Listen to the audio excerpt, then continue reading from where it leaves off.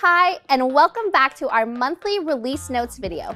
I'm Jasmine from GlassHive, here to break down all of April's updates, improvements, and new releases we've made to the Hive.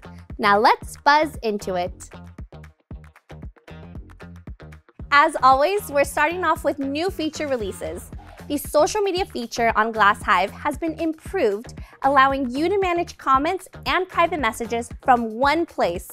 Simply click on the Inbox tab to view your messages, respond by adding a comment, file, or emoji, and close it when you're finished to keep your inbox organized.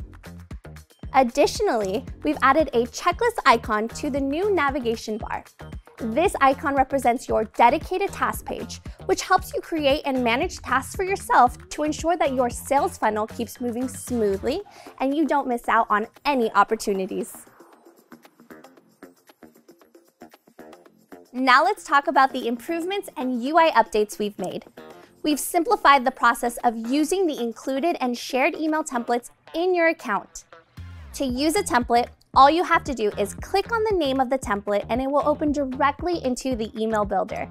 You can make any necessary edits or use the template as is without any extra clicks. Additionally, we've made another improvement by highlighting the icon on the navigation bar to indicate which page you're currently on.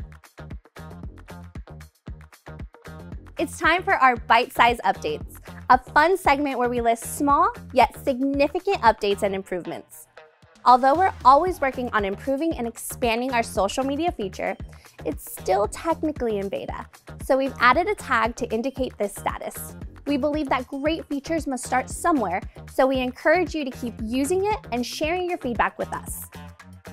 In addition, we've updated the Contact Profile Details page to follow the same tab design as the main table. Consistency is essential, and we hope this change makes navigating the platform even easier for you. And that ends our April update. Click the link in the description below to see the full breakdown of all the updates we made this month, including all bug fixes. If you haven't already, please subscribe to our channel, give this video a like, and send us a comment. We hope to see you next month for another informative breakdown of all the magic we create here in the Hive.